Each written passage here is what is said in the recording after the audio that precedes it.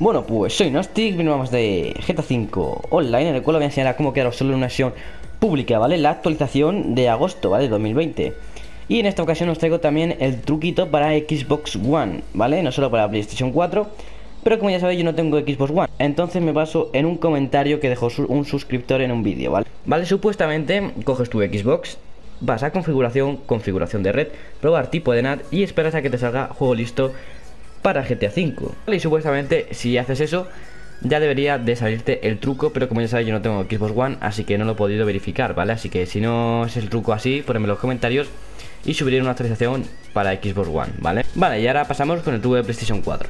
Vale, tenemos que venirnos aquí a ajustes, red, configurar conexión a internet, usar cable eh, de Red LAN o Wi-Fi, lo que tengáis, ¿vale? No influye en nada.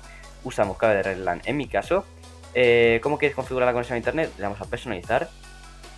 Dirección IP automática. el host DHCP no especificar. DNS automático. Y aquí en MTU simplemente le damos a manual. Y nos vendrá por defecto a 1500, ¿vale? Simplemente tenemos que bajarlos entre 850 y 950, ¿vale? Es lo que os recomiendo yo.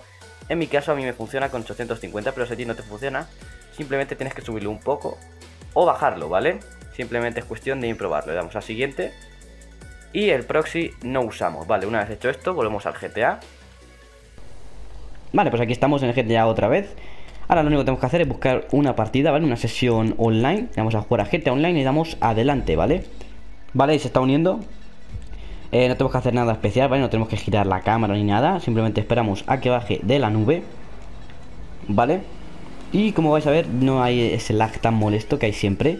Vale, ahí veis, publica una persona. Como veis a mí me ha funcionado la primera, pero eh, a lo mejor a vosotros no funciona la primera, ¿vale? Os une con un par de guiris, ¿vale? A mí me ha llegado a emparejar una vez con 10, ¿vale? Si ese es tu caso no te preocupes, simplemente tienes que volver a buscar otra sesión eh, pública. ¿Por qué pasa esto? Bueno, porque ya hay mucha gente que conoce este truco, entonces se crean sesiones así e invitan a sus amigos. Entonces lo que pasa es que tú te puedes unir sin querer a una de estas partidas, pero no pasa nada. Simplemente das a buscar otra vez sesión pública y ya está, ¿vale? Si queremos jugar eh, con gente otra vez, ¿qué tenemos que hacer? Pues simplemente tenemos que subirlo otra vez a 1500, ¿vale? El MTU y ya está. Y así que nada, espero que os haya gustado el vídeo. Si así, os agradaría que suscribiráis y das like gratis, joder. Y si me queréis apoyar aún más, Tenéis mis redes sociales en la descripción, TikTok, Instagram y mi Paypal, ¿vale? Por si me queréis donar. Y nos vemos en el próximo vídeo. Chao.